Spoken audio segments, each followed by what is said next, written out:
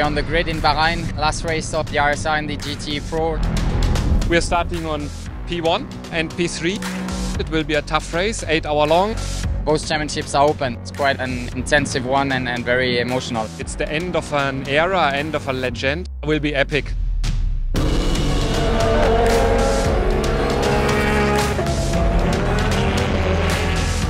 in the beginning, Kevin did a great start. It was a bit of a mess. Then we see the degradation is a bit higher in our car than, than the competitors, and we start to fall back a little bit. We had to do our first stop uh, under normal conditions. Some competitors could do it under full course yellow. We have to keep fighting. We are still on the lead lap. Just have to hope for a safety car, really, and then um, we are somehow back in the game.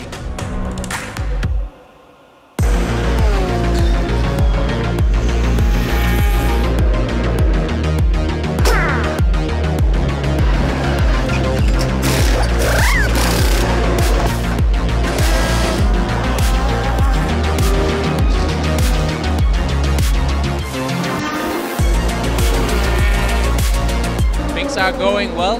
Matteo is, is pushing, uh, I'm pushing, and we are we are fighting for this.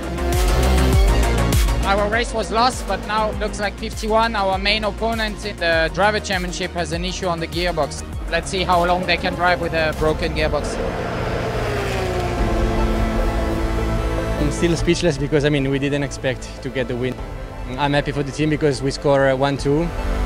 We wanted to end the race with a victory and probably the championships. This we sadly didn't achieve. So yeah, that's the end of an era. That's the end of a legend. I enjoy every race I, I spent with these guys, and I hope uh, I hope that we can still write history in the next program next year.